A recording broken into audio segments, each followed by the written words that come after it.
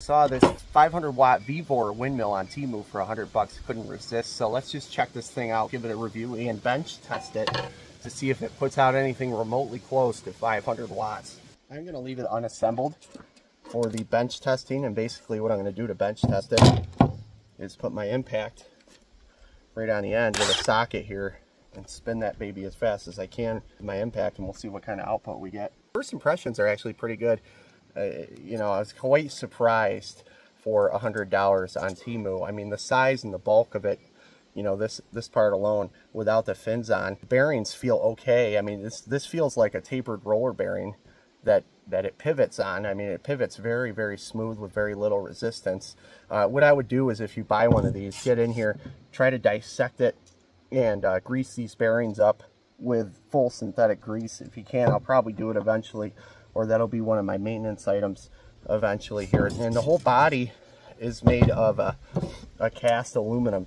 Now, cast aluminum is, is good, but it's not as good as what we would call wrought aluminum or extruded aluminum or rolled aluminum. Cast aluminum, it's still pretty tough, and it's tough enough for this application. The whole body, everything is cast aluminum. I'm not seeing much plastic on here. The plastic I do see is nylon, like fiber reinforced nylon in the fins. So that's a really good material too. This, this particular model has three fins. As you can see, there, there's ones with five fins. I probably should have got the ones with the five fins because I think it would be better for lower wind conditions, basically. These three fins are probably better for high speed efficiency, but they're very sharp. I'm noticing how sharp they are and that's really good for efficiency as well. The sharper these blades are, the better it'll slice through the air with little resistance. So th that's a good thing I'm seeing. Uh, it comes with this regulator rectifier. So basically, if you don't know how a windmill works, it, it basically works like your car alternator or any kind of uh, AC generator. These are all AC. They don't put out DC without being regulated and rectified. So when I spin this right now, what I will get is an AC voltage, a three-phase AC voltage off these three wires here. And then in order to utilize this electricity, we've got to regulate it and rectify it. So we've got to rectify it to DC, and, um, and then a voltage regulator kicks the voltage down to uh, 12 or 24 volts. According to the paperwork on this, this regulator rectifier uh, can detect whether you are powering a 24 volt system or a 12 volt system. It says it has an intelligent IC in there. Like it says 12 to 24 volts auto on there. As you can see some of the specs. This is exactly like a motorcycle regulator rectifier. And one thing I've learned about motorcycle regulator rectifiers over the years is you want to try and keep them in the wind especially if you have a if you're if you're going to try one of these and you have a really high wind area with constant high wind um, you want to keep these cool because they heat up and there's there's actually a, quite a bit of efficiency and energy loss through these especially if you're kicking it down to 12 volts because these things when we'll test it here but when when these are spinning the AC AC voltage on this one so far I mean it gets up to 60 volts plus for each leg. So it, we're cutting 60 volts AC all the way down to 12 or 24 24 would probably be better if you're running this off 24 but yeah let's see um, I'm gonna try and hook up hook up to this and spin it without the regulator rectifier hooked up and we'll see what kind of voltage we get. All right, I've got my uh, AC multimeter at 200 volts hooked up between just two of the phases. Uh, these are sine waves that are 180 degrees out of sync or completely out of sync with each other. So this will read it almost like it was 220 volts. 73. 73 volts, that's crazy. So that's just between two of the legs as fast as my meter or my impact could go. If these things make AC voltage, why can't we just directly use the AC voltage? And it's because the frequency wouldn't be consistent. So that's the amount of times the AC waveform goes up and down per second. And here in America, we run off 60 hertz. And this thing isn't going to spin at exactly 60 hertz, and frequency is a big deal. You know, sometimes it'll be at 60 hertz, sometimes it'll be at 90 hertz. Uh, it depends on how many RPMs this, this motor is running at in the wind. So we can't directly use that AC power unless this is uh, perfectly controlled and regulated, the speed of it. That's why we have to kick it down to the DC and then use the DC power and convert the DC back to AC. It's a huge efficiency loss and it sucks, it's just the way it is. Other thing that surprises me is we actually have pure copper wire on this. I really expected to see aluminum copper coated wire. You find that a lot with uh, cheap electronics, especially, you know, a $100 windmill. But these are actually pure copper wires. I don't know if the, uh, the rotor or the stator is wound. Either one is wound with uh, pure copper inside. I haven't cracked this open. I'm not going to crack it open in this video. But I'm going to hope that it does. And this is basically, this is a permanent magnet generator. So, so either the rotor or the stator either has permanent magnets. It's probably the rotor uh, has permanent magnets. And every time those magnets pass over the copper windings on the outside of this, it, it, it induces an electrical voltage through those windings. It's pretty cool. Uh, the effect, I think they call it the Faraday. No, I don't quote. I'm not even going to guess at that right now. But when you pass a magnet, something magnetic over a, a copper winding, it creates a voltage, and that's how uh, this windmill essentially works. And they claim that these this actually has two bearings. So this uh, this input shaft here has two bearings inside. I don't know about their quality. They're probably low quality bearings. Um, that's why I recommend the full synthetic grease. And this particular model for $100 on Temu doesn't come with a stand pole. It only comes with this right here. It's just a bracket to secure it to your own pole. It's like it's an inch and a half. Yeah, an inch and 5 eighths. I was really close. So an inch and 5 eighths dead nuts inside diameter on that this so the outside diameter of this yeah inch and 5 eighths. So just over an inch and a half and this is what you get. So you got to find like a inch and a half or inch and 5 eighths pipe or something close to that. So we're going to hook it up to the regulator rectifier now. Doesn't matter. Uh, these three blue wires and these three blue wires can connect. Doesn't matter which one goes to which. You can have them in any order as long as you don't connect these blue wires coming out to this red or this black wire. These these are our DC output wires basically. Connect it backwards is probably going to cause a lot of damage. Got my multimeter connected to the regulator rectifier on the DC output. I'm gonna I'm gonna basically test for voltage with no load by spinning it with my impact again, and we're gonna see what we get for voltage with no load.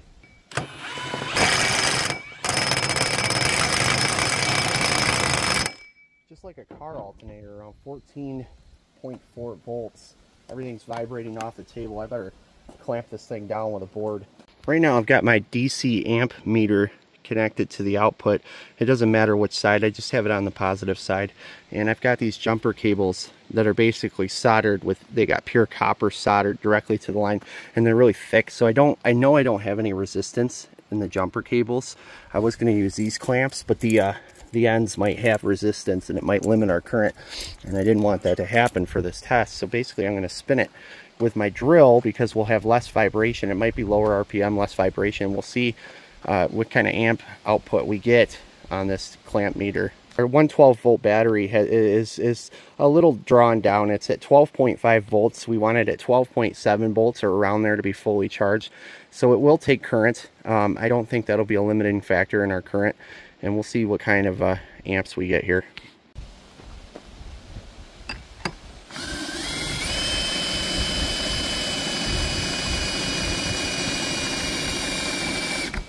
Oh, battery's dying on the drill, but we got, what do we get, 7 amps is the max? Okay, I'm to try it on the impact now. It might, it might chatter with load though, I'm to see.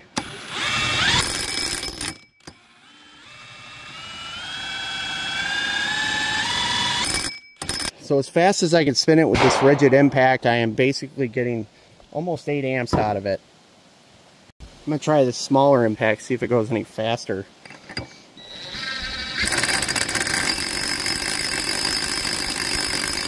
Not at all.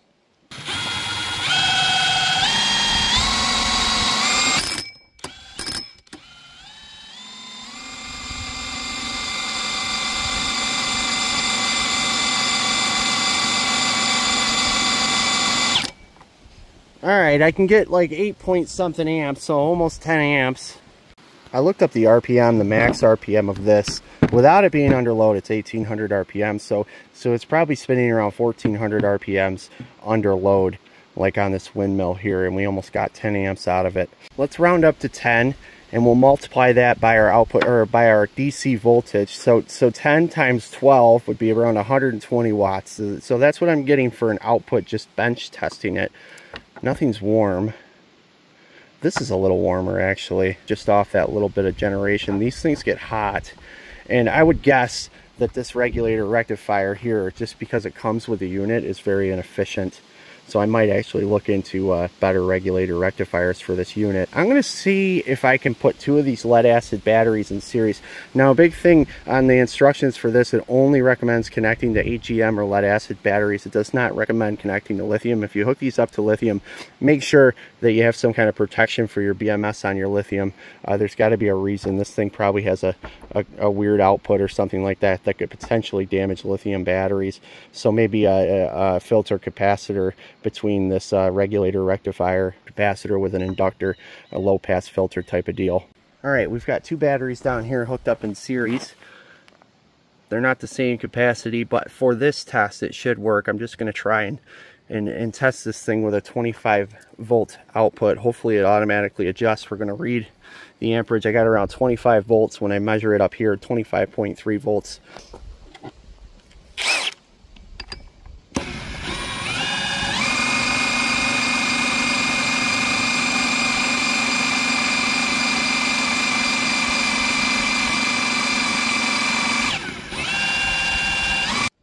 so we got it was different this time it wasn't as smooth it, it's it was like there was waves of resistance in the uh, the windmill at 25 volts that's just funny that's funny with an output when I'm connecting it to 24 volts. So I got around the same amperage and pulses at 24 volts with this thing hooked up to 24 volts, uh, which means our, our wattage doubled.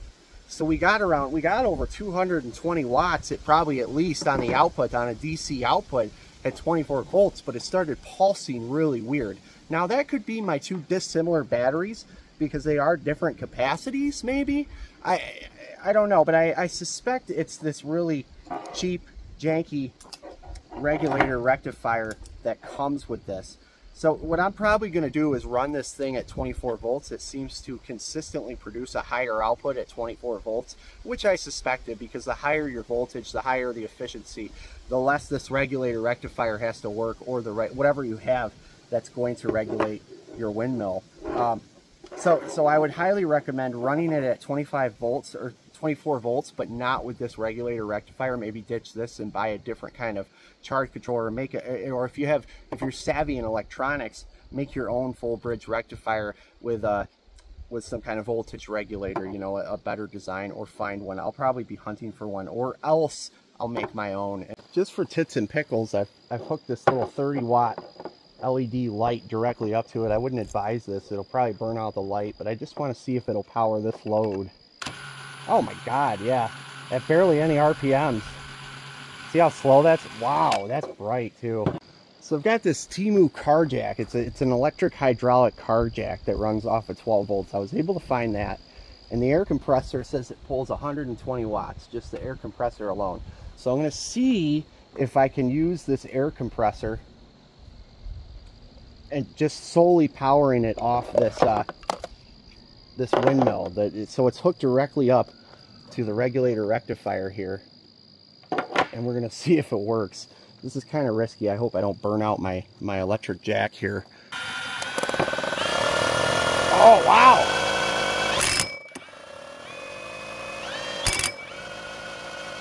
That's pretty impressive. All right, let me try the jack side. That's cool.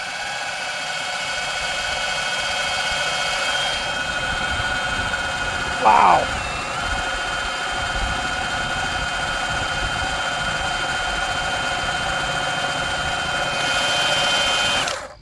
So you can see here, the jack pulls around 180 watts, but that's probably under load, 15 amps. So that's really not bad that this thing runs it at 12 volts or 14 volts in real time. I'm kind of impressed. Here's the catch. I know these regulator rectifiers get warm. I mean, this one's warm right now just from the little tests we do. But if I rectify it up near the windmill, which this is meant to be exterior, you could tell it's a sealed, it's all sealed. It's got that coating over the circuit board, so it's meant to be outside. But it would be more efficient for me to shoot the AC all the way down to the ground, especially if I'm putting it way up there and to rectify it closer to the ground or closer to where my batteries are and then you know or, or right at the batteries. But the problem lies within keeping this cool. So what i'm going to do is probably continue to use this for the time being after i get it mounted but i'm going to mount this. I'm going to try to mount this to a big heat sink a big hunk of copper or a big hunk of aluminum or or maybe uh, some get some little fan some little, really small fan on it, maybe with some temp control. I don't know. I haven't thought it up yet, but uh, just wait for the uh, for the actual installation video to come out. I promise you I will install it as soon as I can, and we'll see what this baby can do up in the air. This is the one I got, FA200 Vevor. Basically from Temu, 100 bucks. Not bad purchase for 100 bucks. We'll see how she does. When I when I hooked it up to, to the 24 volt, you know, the two batteries in series, I think the pulsing was from my battery voltage. Maybe the batteries are too charged and, and something weird was going on between the two different uh, capacities between the batteries to make the, uh, the regulator rectifier you know, pulse like that. It would be unfair of me to automatically assume it's the regulator rectifier's fault. It's probably my fault. But either way, it still works great at 12 volts. Um, I know we at least pulled 100 watts in real time through it, uh, you know, to multiple devices, including a, a, a semi dead battery that needed to be charged. Um, overall, yeah, I would recommend this, especially if you're in a high wind area. This is just the bench test. I'm going to get it up in the air as high as I can, and we'll see what it does after that. I promise to upload a video when I do get it way above the tree line. I'm going to go up into a tree and get it way up there. Thinking I'm going to add some poles to it, maybe a couple poles or at least one pole, and put it at the top of this pine tree. What I'll do is I'll climb up as high as I can with my ladder and trim the branches off and mount it to one of these trees and get it above that tree line or try to so I can really catch that wind and then we can really give it a good test and see exactly what it's going to do. Thanks again for tuning in. We're going to be doing a lot more of this type of testing. I'm setting up a big off-grid electrical system out here at my lower camp or my lower property and uh, we're going to be testing a lot of things, inverters, um, solar panels, all that. I'm going to be really delving into off-grid solar and, off-grid electrical systems and what's the most efficient. I'm going to be doing it on a budget. So we're going to try and do everything around a thousand bucks, maybe, you know, give or take. Um, but this this right here was hundred bucks on Temu. I'll flash it on the screen. 500 watt Vevor windmill.